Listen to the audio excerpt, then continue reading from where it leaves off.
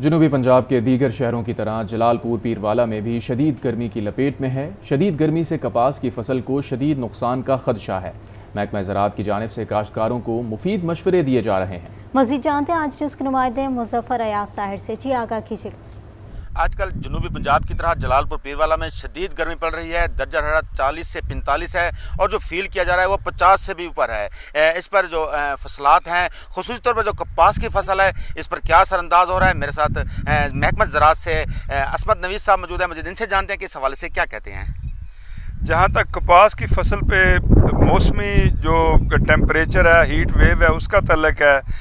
अगर तो कपास की फ़सल को पानी की कमी हो तो फिर फ्रूट शेडिंग का डर होता है। इस स्टेज पे काश्तकारों की रहनमाई की जा रही है कि वो पानी की कमी हरगज़ ना आने दें। चूँकि हीट वेव चल रही है हीट वेव की वजह से अगर थोड़ा सी भी स्ट्रेस आ गई काटन की फ़सल पे तो फ्रूट शेडिंग शुरू हो जाएगी। तो इसलिए सबसे इंपॉर्टेंट ये है कि काश्तकार जो है विजिलेंट रहें और इस गर्मी की इस शदीद जो गर्मी पड़ रही है इसमें अपनी फ़सलों की जो निगहदाश्त है वो महकमा ज़रात की सिफारशात के मुताबिक करें। जी बिल्कुल इनका यही कहना है कि जो कपास की फ़सल है इसमें पानी की कमी बिल्कुल ना होने दें और जो महकमा ज़रात है उससे मशवरा लाजमी कर लें। जी। दुनिया के